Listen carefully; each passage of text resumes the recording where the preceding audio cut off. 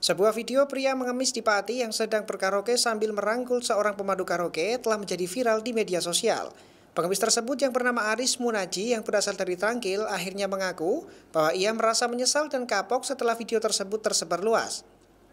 Ditemui di kediamannya di Desa Tegal Harjo, Kecamatan Trangkil, Kami siang, Aris mengatakan bahwa ia tidak tahu menahu tiba-tiba videonya viral dan pihaknya sangat menyesal. Tampak jelas bahwa rumah Aris sebenarnya tidak begitu buruk. Malah rumahnya tergolong cukup baik jika dibandingkan dengan rumah-rumah warga di desanya. Aris mengakui bahwa ini adalah kali pertama ia diajak oleh temannya untuk berkaraoke. Ia menyangkal bahwa kegiatan berkaraoke tersebut menggunakan uang hasil meminta-minta. Sebaliknya, Aris menjelaskan bahwa saat berkaraoke, biaya yang dikeluarkan sepenuhnya ditanggung oleh temannya sendiri. Namun setelah insiden ini, Aris menyatakan bahwa ia merasa kapok dan tidak akan mengulangi perbuatannya tersebut. Saat ini, Aris tinggal menganggur di rumahnya.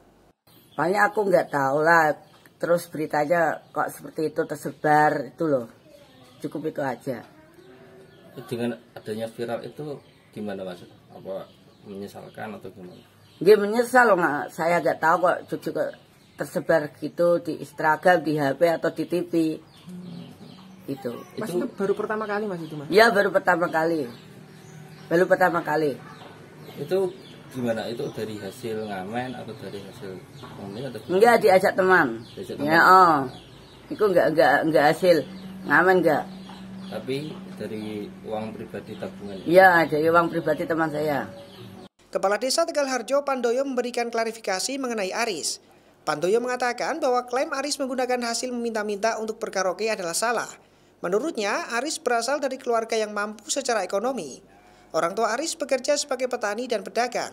Kalau yang kemudian yang muncul itu hasil mengemisnya Mas Aris itu dipakai untuk karaoke, ini perlu saya klarifikasi bahwa Mas Aris ini sesungguhnya dari background keluarga yang untuk ukuran warga masyarakat Desa Tegalarjo ini keluarganya keluarga mampu.